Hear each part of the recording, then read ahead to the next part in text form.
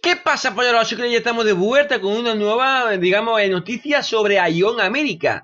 Y es que en la página web, el día de agosto, han anunciado, no lo he publicado yo antes porque he estado, he estado marico, pero han anunciado que el próximo 24 de agosto tendremos Ion 5.3, perdón, Ion 5.0.3, ¿vale? Es decir, el, digamos que el parche anterior a la 5.1.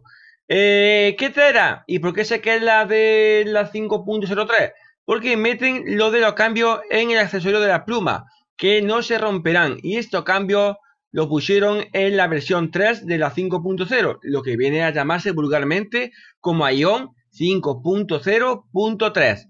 ¿Qué cambios van a traer? Pues bueno, si le damos aquí al link, ¿vale? Pues van a traer un, digamos, una especie de update de la Trian Passport, se queda más bonito, como no, mucho más QR repetible, más ítems para recoger, y para ti, para tal, cambio en las plumas, no se romperán, y la Luna Shop. Esto creo que es del propio Ion NA. ¿Por qué? Porque el próximo día os voy a traer una especie de nota del parche sobre los próximos, las próximas versiones de Ion. Es decir, Ion 5.1, Ion 5, perdón, Ion, sí, Ion 5.1, Ion 5.2 y Ion 5.3. Eso lo, lo, traeré en el próximo día para que tengamos una idea de qué es lo que nos viene encima en el mundo de la estrella.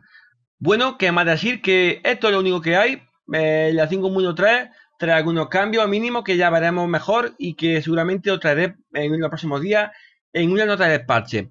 Y lo más importante es lo de las plumas, lo de la Trian Passport y la Luna Shop, que ya veremos cómo podemos conseguir estas moneditas para cambiarlas por cositas como por ejemplo skin y monturas.